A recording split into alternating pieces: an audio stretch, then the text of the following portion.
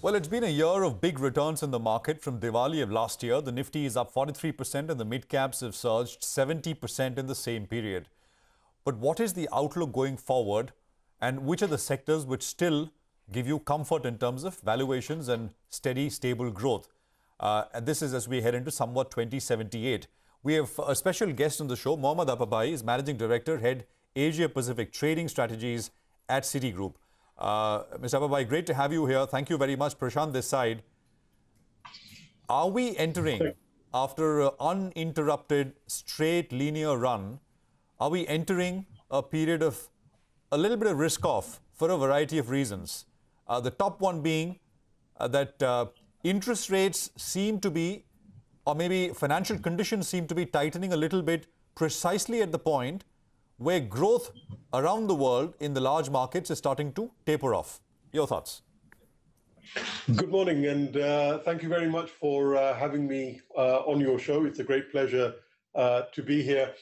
Um, I think your, uh, your, your question is uh, a, really excellent one. I think this is the question that we have also been grappling with. I've been basically bullish on markets and on risk assets since about March 2020, and what we've been arguing is that equity markets would and risk assets in general would continue rallying uh, while central banks would continue providing liquidity. And that has pretty much happened uh, for, for pretty much the last uh, 18 months. What is now happening is that the central bankers are starting to turn and change their views. But even though they're changing their views and they're talking about interest rates, all of these things are still another six months away. So when you're looking at that provision of liquidity, it's going to continue at least until February, March 2020, 2022. And it's really the second quarter of 22 uh, that we are a lot more concerned about. Okay, got that. Uh, Apabhai, uh, thank you for being with us on the show and greetings of the season to you and your entire team at Citi. For emerging markets like India, what according to you is the biggest risk to this rally now? Well, I think the biggest risk is uh, really monetary tightening. Um, there's sort of uh, two risks that I can see for India. One is that we continue to be uh, bullish uh, broadly on the uh, on the oil price. Um, I, in a very bullish scenario, we wouldn't be surprised to see uh, $99 on on Brent crude. That's not the core scenario, but that's certainly a trading view that uh, that could happen. But I think the biggest risk that you have is really uh, following a period of uh, relatively loose monetary policy, especially in India. Um, what you start seeing is tighter monetary policy. And here, what I would do is draw the parallels between India and China. Um, you know, the two big superpowers uh, in uh, our region.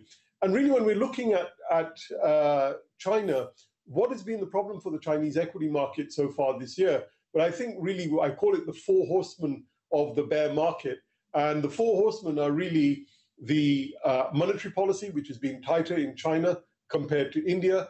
Uh, the virus policy in uh, China has been basically a zero uh, COVID strategy compared to India, where things were very bad, but it appears that things are uh, opening up a lot more. Uh, the third is regulatory risk. And in China, of course, we've seen a lot more regulatory risk than uh, in we have in India. And the fourth one is now uh, systemic risk, uh, which is more seen in, in China and India. And that really, what that does is it gives you the framework uh, for looking at the market. So if, for example, you get a resurgence of COVID, unfortunately, or you get particularly tighter monetary policy, uh, we think that would be negative. But again, we don't see that happening until at least the first quarter of 2022. So for the time being, uh, things we think are going to be okay. Second quarter of 22, we might be looking at something like a 15.2% correction in the main headline S&P level,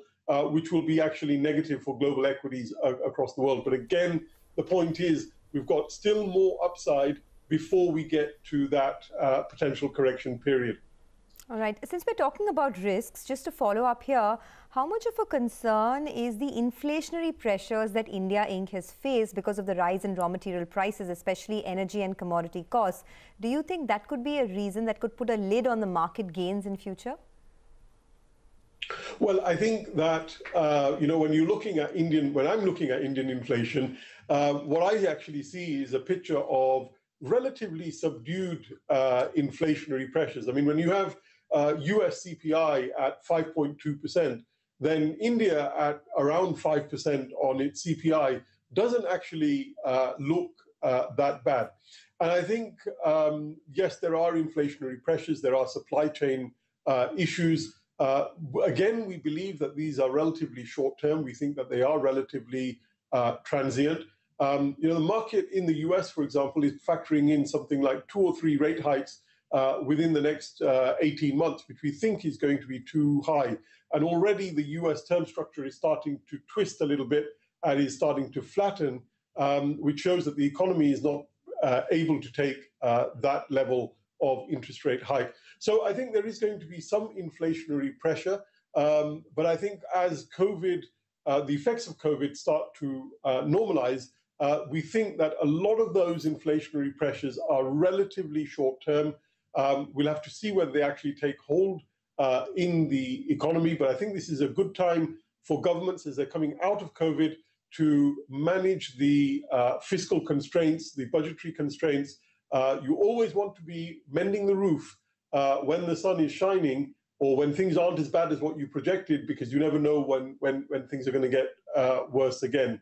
Uh, so again, uh, you know, we think that in, uh, in, in 22, things would be a lot clearer, but actually um, I quite like, I, I quite like um, the US break-even inflation rates here um, I think they're a little bit overdone in terms of the inflation concern. My view is that within 12 months, we're probably going to be looking, within 12 months, we're probably going to be looking at disinflationary pressures again uh, in the global economy. Mm. You know, the, uh, just to take that point forward, the short-term interest rate market in the US, uh, Ms. Apabhai, is projecting three hikes in 22. Uh, the Fed uh, is, in, in a way, implicitly told us that there is no rate hike till the taper is done. Uh, so what is the market telling us? I mean, should we pay attention to it? Or do you think, I mean, these will fade away? As you said, I mean, you're not worried about break-even break -even inflation, and maybe the market comes around to the view as well. Yeah, I think I think that's very possible. I mean, it's sort of um, three three rate hikes within uh, 22 uh, basically means that the Fed has pretty much lost control of the inflation curve, at least in uh, in the very short term. And what that would mean is that the supply uh, issues, because that's really what we are seeing. We're seeing some wage uh, pressure, and a lot of it is about, um, you know, basically ships being in the wrong place, uh, the, not enough workers uh, on a particular mine, uh, you know, supply issues uh, similar to that. And of course, you have the supply issues coming again from China as a result of, uh, of COVID. Now, it really depends on how quickly and efficiently uh, the market will be able to uh, iron out those, those issues. And we think that you know the supply chains will, will start working a lot more efficiently again in 2022. I think the fundamental picture underneath everything that is going on is still pretty much the same. We're still living in a fairly disinflationary environment. Um, and remember, with China, the Chinese economy is going to be slowing down uh, fairly substantially, we think, in uh, the rest of uh, 2021. And we're watching to see what the impact of that is going to be, especially from the property sector in 2022. But that could potentially have uh, a, a, global uh, impact. And the real concern that we have is uh, one of stagflation uh, where, as you highlighted, um, that what happens is that growth slows down, but uh, inflation picks up. But if you look at what happened in the bond market, even over the last 48 hours, as the growth projections start coming down, what you actually find is that the bond yields also start coming down. So we're actually looking for an opportunity to go long bonds uh, once again, especially uh, into the first quarter of, uh, of 22. So you can see the picture that I'm trying to paint here the rest of this year is going to be pretty much like what the first nine months of this year has, uh, has been like, or 10 months of the year has been like. It's going to continue for probably the next uh, two to three months. Right. Uh, and then it's really going to be at the end of uh, the first quarter of 22 uh, that things will really change uh, quite significantly as we have to get used to living in a world without the central bank liquidity being provided.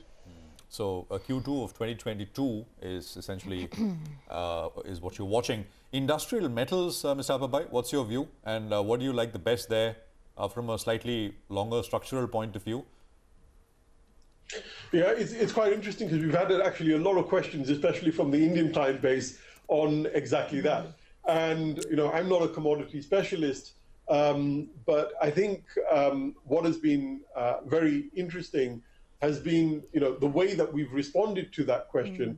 is to say that you can't actually look at um, all the commodities in uh, the same space. So, for example, if you look at aluminium, until a few days ago, was looking massively overbought, and we know the reasons why that is. It was supply issues. Uh, it was also uh, to do with uh, electric vehicles and various other things. Uh, but then you look at iron ore, which is right at the bottom of the range, and again, we know why that is uh, why that is happening. So overall, industrial metals will be following the general economic cycle, which is that generally a bullish view until um, the first uh, the first quarter of uh, 22, and then after that, uh, it's probably uh, going to be a bit more of a concern.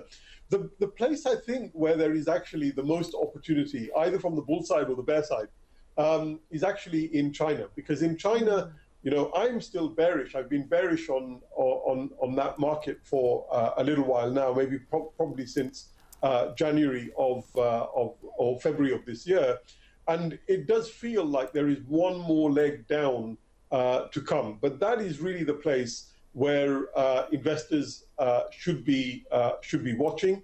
Um, and I think in 22 uh, what we need to uh, watch out for is going to be the point where the market becomes very concerned about growth. Maybe it's because uh, we'll be looking at uh, imminent rate hikes.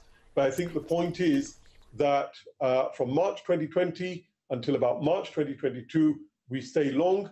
And then at that point, uh, hopefully I can come back on your show if I'm invited again and uh, we'll talk about uh, whether it's time to turn. But the projection for the S&P, for example, is for the market to reach uh, a level of 4888. So I'm not going to tell you just be bullish. I'm going to tell you sort of be bullish up to this level. Um, our numbers can't justify a level of the market above uh, that level. Uh, correspondingly, in India, the Nifty index should get to around 19,966 um, which is uh, around the, the sort of 20,000 mark. And what is interesting is that, you know, in, uh, in, China, in, in the West, the 4888 number that I mentioned on the S&P is what they call an angel number. It's a time when you pause and you reflect on what's happened. And in uh, China, that number actually uh, signifies the end of getting wealthier and wealthier and wealthier. So um, there is some sort of poetic uh, rhyme that is uh, that is there. And uh, certainly it's a number that you probably want to be writing down and uh, we'll be reviewing as we get closer to the time. Okay, this is definitely music to the ears of the investors listening to you right now. The Nifty perhaps hitting that 19,966 levels.